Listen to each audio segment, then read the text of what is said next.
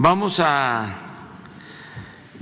darle la palabra a Elizabeth García Vilchis, porque hoy es miércoles y es el día en que se da a conocer el quién es quién en las mentiras, aunque es una síntesis muy apretada.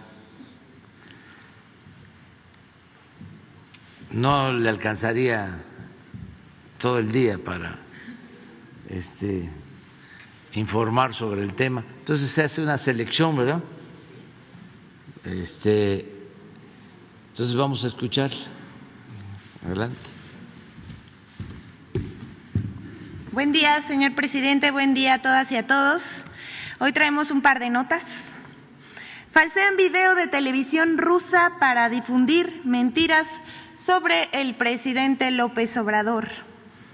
La semana pasada se difundió un video a través de la cuenta de TikTok Cultura Pop de XXLL, en el cual se alteró el contenido de un noticiero ruso y de un mensaje de Vladimir Putin.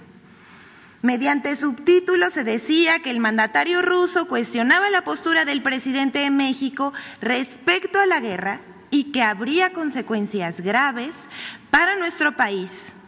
Un verdadero disparate. El video fue borrado, pero se viralizó a través de otras redes sociales como Facebook y Twitter y fue enviado como cadena en aplicaciones de mensajería instantánea como WhatsApp y Telegram. El video armado es falso pues el video real es de 2018 y se trata de un informativo de Rusia que está dando la noticia de que el mandatario ruso celebró el triunfo de Andrés Manuel López Obrador como presidente de México. Pero así se las gastan en su pretensión de desprestigiar al presidente.